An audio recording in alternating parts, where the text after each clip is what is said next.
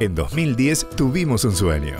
Inspirados por los viñedos y paisajes mendocinos del noreste argentino, nos desafiamos a juntar dos placeres que tanto disfrutábamos, el vino y el chocolate.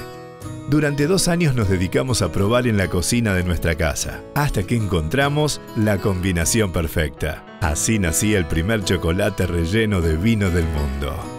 Luego comenzamos a elaborar en nuestra casa, y muy pronto, en 2014, nos tuvimos que mudar a una fábrica. El producto gustaba y mucho, tanto que fuimos reconocidos dos veces por el International Chocolate Awards que se realiza en New York.